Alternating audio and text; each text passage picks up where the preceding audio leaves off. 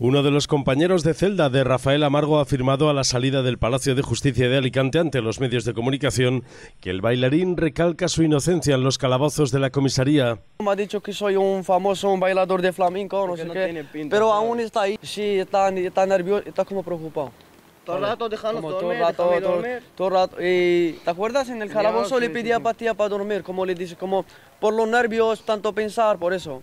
Con chaqueta oscura, el pelo suelto y esposado con las manos atrás, el bailaor llegó el sábado por la mañana a los alicantinos juzgados de Benalúa a bordo de uno de los cuatro furgones de la Policía Nacional que se desplazó desde la comisaría provincial a la sede judicial para el pase a disposición del juez de guardia de 18 detenidos por distintas causas, entre los que se encontraba Rafael Amargo.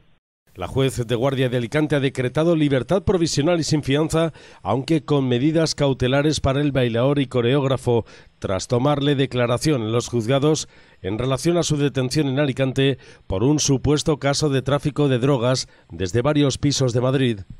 El bailaor fue detenido tras actuar el jueves por la noche en un restaurante italiano del casco antiguo de Alicante, por el que, según han publicado algunos medios de comunicación, habría cobrado 200 euros. Rafael Amargo defiende que es inocente y argumenta que algunos de los toxicómanos que transitan por el barrio de Malasaña de Madrid se metían a trapichear y a drogarse en el portal de la que fuera su vivienda.